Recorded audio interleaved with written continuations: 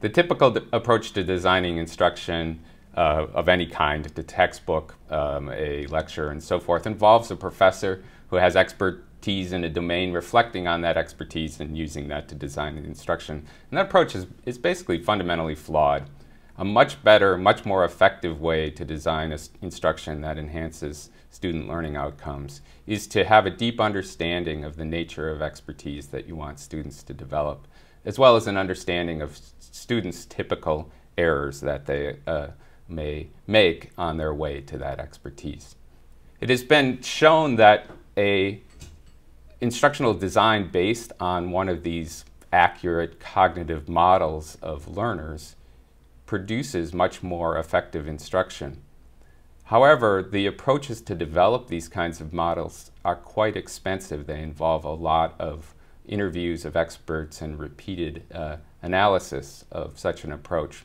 So what we have done is developed a way to use data collected from educational technologies to make that a, process of building a detailed understanding of expertise and of learners much more cost effective.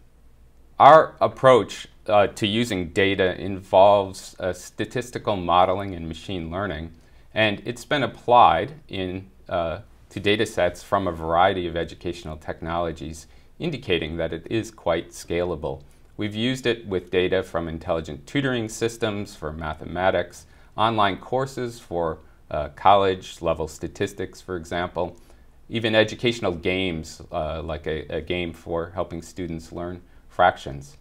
In all of these cases, the approach involves using the data to, to understand places where students have trouble, breakdowns in the learning process, where the learning curve doesn't go down smoothly.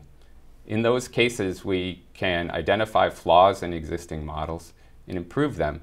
And the key to this is that this is being done by an algorithm. Uh, thus, it's quite possible to apply it to multiple data sets.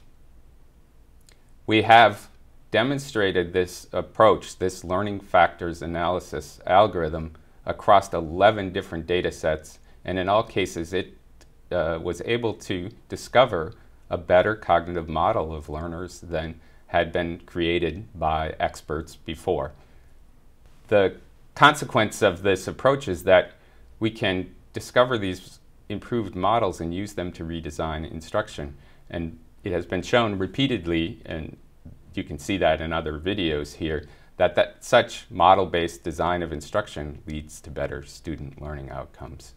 The great thing about this current work is that we've demonstrated how we can scale this kind of data-driven, intensive approach by using an automated learning algorithm to apply it across multiple data sets.